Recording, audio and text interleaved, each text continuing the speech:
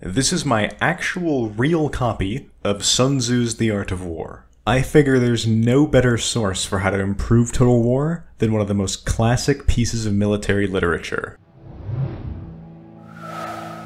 Just as water retains no constant shape, so in warfare there are no constant conditions.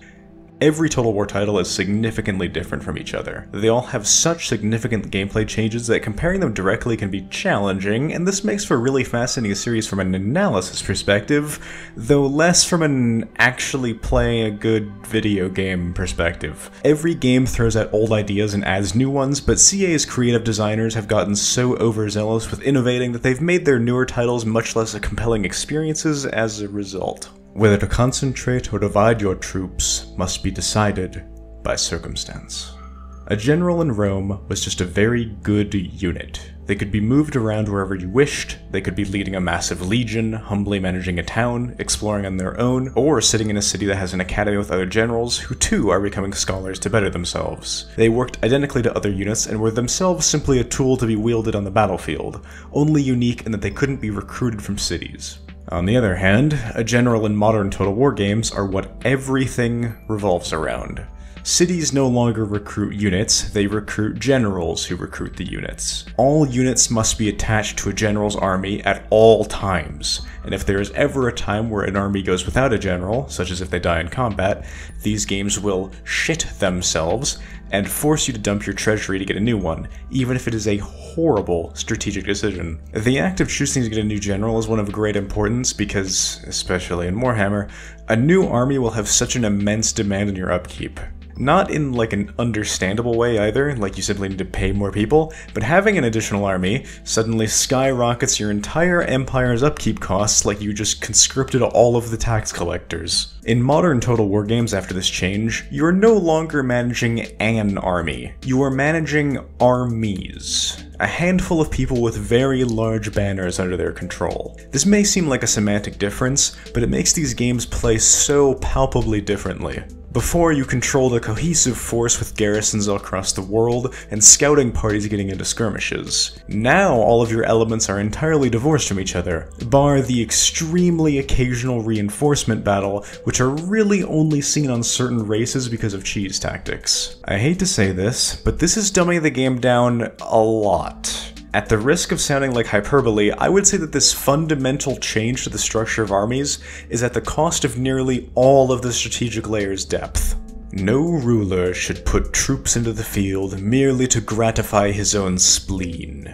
You can't manage garrisons anymore, so all of your troops have to be in a giant stack, and this leads to a very, very big problem. The garrisons that you do have are going to be auto-generated when a settlement is attacked, and they are inevitably either too weak or too strong. There is no perfect balance that can be achieved, and Warhammer proves this by having both extremes in it already, depending on which race you're fighting. The vast, vast majority of battles in a Total War campaign are offensive siege battles, and they are easily the most miserable type of battles to play. Cities have a garrison of units which are free and walk out to defend the city whenever it's attacked. If these free default garrisons are too weak, it makes conquering their land absolutely piss easy. There will only really be one real battle where you fight their full stack, and the rest will be auto-resolving sieges. If the garrisons are too strong, however, the exact opposite probably happens, and you're forced to play every single siege battle, cheese the hell out of the AI, play extremely safe, and then pass out from exhaustion. The worst policy of all is to besiege walled cities. This exposes a flaw in Total War, which I believe is terminal, as it affects all of their games. Siege battles are the worst part of the game by far, and given the unsuccessful amount of attempts that CA have had at making them work, I think it's safe to say that they're probably unsalvageable. This is of course at its worst in Warhammer, where the sieges are unbelievably grueling and boring, but it's also just as bad in pretty much every other title in my opinion. Pathfinding problems galore, slogfest battles that take forever with little to no tactical depth, and they're so common. Sieges in real life are not quick affairs, nor are they usually one battle as they are often depicted to be in Total War. Real life sieges are hard to properly represent because a city is enormous and even Total War can't do that kind of scale. Sieges are more accurately done in Crusader Kings where they just sort of stand around for a while until the fort surrenders. But That's boring. This can be done in Total War, and it's not implemented very well. If you siege a settlement for a set number of turns, a sally battle, where the defenders leave their fort to assault their besiegers, is forced, and the defenders have to fight you, or they explode. This is extremely gamey and makes very little sense, as siege attrition doesn't exist in most Total War games. What I mean by that is that when sieging a settlement, the enemy doesn't lose troops over time. Logically, they should get progressively more paranoid over time, losing morale and other stats with every turn that they're sieged, as well as slowly bleeding troops as they get picked off by the besiegers day and night. As it is, though, it's implied that they're entirely completely fine until they run out of their two and a half year long stockpile of food, where the entire garrison will simultaneously detonate. Ideally, I'd like to be able to pick different siege tactics to use against different castles. Sun Tzu has quite a lot to say about sieges, and so I'd like to look at four passages for insights on what should be included. Attack him where he is unprepared. Appear where you are not expected. This would be the most straightforward option. Your men conducting evening raids, killing those who poke their heads out of the castle's crenellations, and hunting any who dare patrol outside the walls would gradually lead to the garrison of the fort losing not only men over time, but also general stats, namely morale. I imagine there could also be text to further this as well as you discover and imagine new ways to horrify and sabotage your enemy. A wise general makes a point of foraging on the enemy. In warfare, you are inevitably going to find yourself in a place of overextension and in need of supplies. With an increase to the province's devastation or public order, your troops gain replenishment while sieging the town as they sack nearby villages and force nearby civilians and captured soldiers into service. All warfare is based on deception. Deception in covert warfare is not something that Total War really touches at all, even though it's pretty crucial to war itself. There are so many things that this could be, like hiding the size of your force, but for this to be actually used and have a practical application against AI enemies, I would recommend for this to be a wooden army. When you deploy for the siege, or when the enemy sallies out against you, you could deploy a fake force of units which aren't actually real as a diversionary force to distract even if the enemy wouldn't have to get that close to identify that they're fake, it would still be incredibly useful. Supreme excellence consists in breaking the enemy's resistance without fighting. One of the options could be a percent chance to request a surrender and or bribe the garrison to let you in, which would only really work on settlements with little to no garrison. Every unit you actually put in the garrison yourself would dramatically reduce the success rate of this, if this is contextualized as a bribe of the garrison, I don't think it should actually cost anything though. Though you might remember that the quote to start this section was, The worst policy of all is to besiege walled cities. My actual suggestion is none of the above. It's to remove sieges entirely. I'm aware that probably sounds insane with Total War's established gameplay loop being a siege merry-go-round, but I think this can quite reasonably be done with an adjustment of scale and context. Even the largest battles in Total War don't come near average significant historical battles when it comes to the amount of men deployed on the battlefield, and it isn't the only scaling inconsistency. This castle is barely a kilometer across. These are obviously done for gameplay reasons, but I still think they can be addressed in context and sieges can be given a proper replacement. I propose defensive infrastructure inside cities like walls, recruitment buildings, and new patrol buildings give significant defensive buffs to any allied armies either within the province or within a radius around the city. Fights against these armies would still be field battles, but depending on the city's infrastructure, they could get access to defensive emplacements like stakes, maybe a watchtower or seven, stat buffs, and or a stream of reinforcements. I think this is the best possible solution. You get to play more field battles, and defensive infrastructure still gives sizable buffs which come into play way more often than they would if only applied during sieges. So what about the actual cities themselves? If you can build walls, what's the point? There are a couple solutions, and my favorite is to recontextualize cities to provinces. Even as it stands, the city situation barely makes sense in any of the Total War games. Getting rid of them entirely and assigning everything that they do to the province they reside in, kind of like how Shogun 2 does with its farms and other local resources, would be a huge improvement in my opinion. Taking over these would consist of raiding these locations, and then they're yours. You conquer piece by piece and be forced to consider splitting up your forces to maximize efficiency, which forces you to consider, it is the rule in war, if our forces are 10 to the enemy's 1, to surround him, if 5 to 1, to attack him, if twice as numerous, to divide our army in two. If they do keep cities, while I would remove siege battles, I wouldn't remove sieging. Making waiting for the siege mandatory would be an okay choice in my opinion, but it'd have to be accompanied by massive other gameplay changes. None of the existing Total War games would really function if this is how it worked.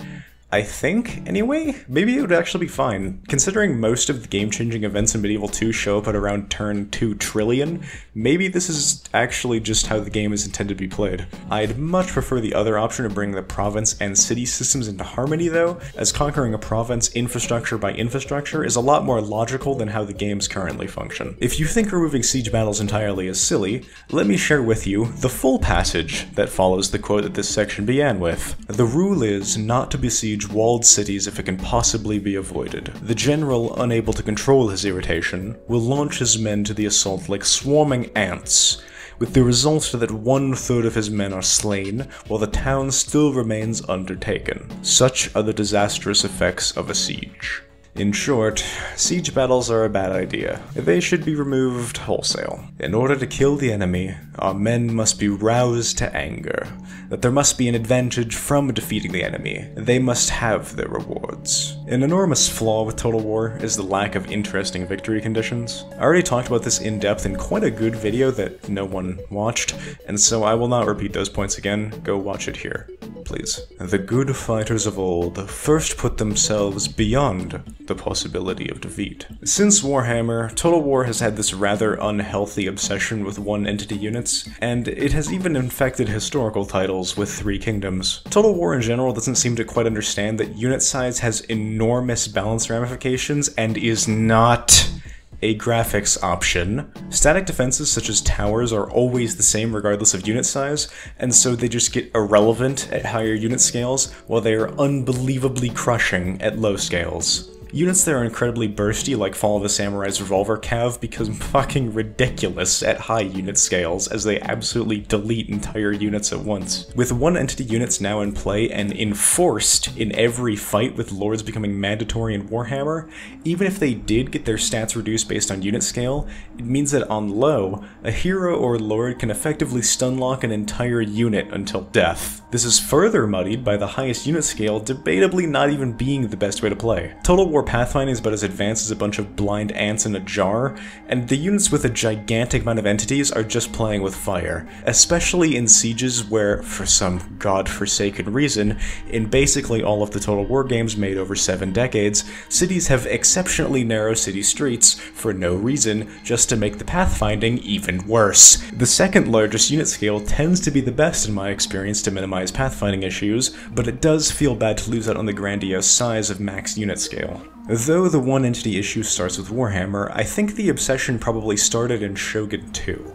Kind of. Its amazing CG intro shows what I mean perfectly with a duel between a Takeda samurai and an Ikko-Ikki warrior monk. Actual Sengoku Jidai history has a lot of these stories too, and this very dude right here, Takeda Shingen, daimyo of his clan, is documented to have fought another daimyo, Uesugi Kenshin, half a dozen times man to man. That is fucking insane. Imagine if Charlemagne fought opposing kings man on man and ran into the same one seven times on the battlefield over the course of years. That kind of thing simply did not happen in feudal Europe.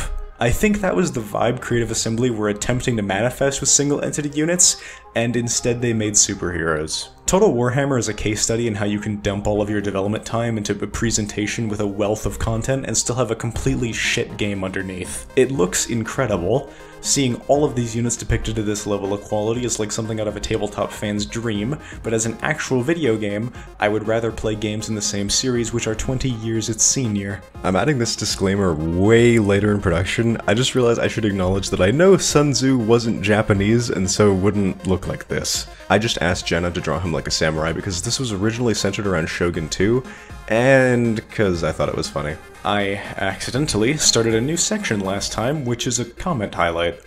I think it makes sense as its own thing, and for two reasons. It promotes positivity and is wholesome to point out comments that make me feel nice, and it's also a psyop to get you to comment on my videos more so that they get pushed to more people. Last time, I talked about The Last Samurai a bit, and someone left this comment about the movie. I messaged the person that I watched the film with because I thought it was funny, and it was his comment. Whoops. There were too many of these to individually highlight, but it made me very happy to see all of the people theory crafting potential fictional firearms that are either depicted in media or just sound cool. Thank you for these. I did have a lot of people point out the differences between the different types of black powder firearms that I was talking about, and I didn't mention this in the video because, frankly, no one needs to know this shit. Realistically, no one at the D&D table needs to know the difference between a flintlock, a matchlock, and a caplock, and so I didn't bother wasting your time explaining it. Lastly, and this might get a full video at some point, why is tabletop combat bad? Well, it varies heavily on system, obviously, but my main two issues are consistently how much of a time sink positioning is when it ultimately has very little importance, and how horrifically poorly balanced most systems are, where it feels like I have to remake them myself, and in Lancer's case, I literally broke and did. Some more specific problems to D&D adjacent systems are shitty cover mechanics, overcomplicated nature of spell slots, seriously, just use a mana system, and the existence of guaranteed damage at all, not to mention how common it is. Like, comment, subscribe, you know the drill. Thanks to my patrons, Emmy especially, and have a good night.